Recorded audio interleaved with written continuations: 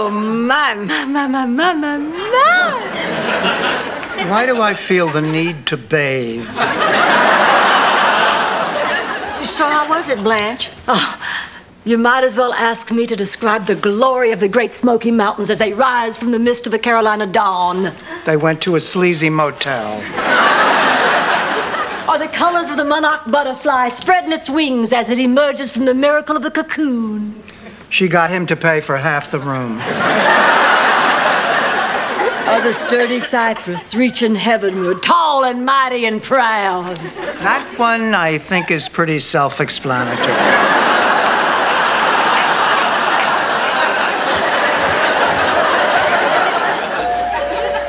Who can that be at this hour? Oh, I bet it's Jerry coming back for his goodnight kiss. You know, sometimes you get so busy buttoning up and all you forget. How do you do?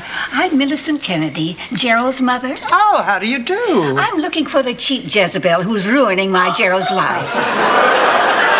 Blanche, company! Blanche Devereaux, I'm here to tell you to keep your hands off my baby. He's very special, and no one can take care of him the way I can. well, excuse me, but I haven't heard any complaints so far. Did you know that Gerald is afraid of clowns? Or that he can't go to the bathroom except at home? Oh, so that's why there's that look on his face right before they get to the weather. Just leave my dumpling alone, understand? Or else. Blanche, why did you let her go? She'd be the perfect person to ask if there's anything about Jerry I could make fun of at the roast.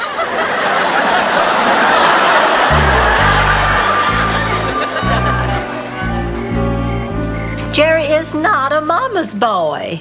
In fact, he and I came to a major understanding tonight. He and his mother aren't going to see any other girls.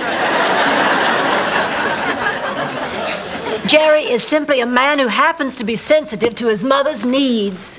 Ma Blanche is right. Jerry's aware his mother is getting on in years. He's concerned about her happiness, and he's chosen to live at home with her because he can't go to the bathroom anyplace else.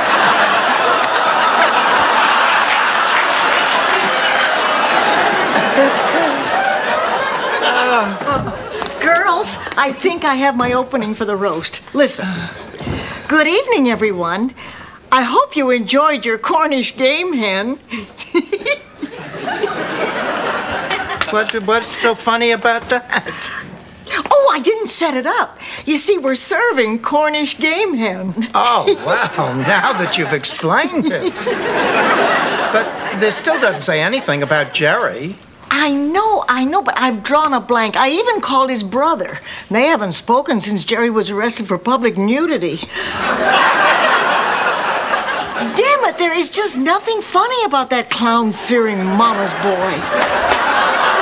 He is not a mama's boy, and to prove it, he has agreed to bring his mother over here tomorrow afternoon so he can stand up to her in front of me. Good for you, Blanche. But if confronting Mrs. Kennedy doesn't work, the three of you might consider a joint therapy session. Therapy's a wonderful idea. Oh, I remember St. Olaf's most famous psychotherapists the Freud brothers, Sigmund and Roy. You may have read their bestseller. If I have all the cheese I want, why am I still unhappy?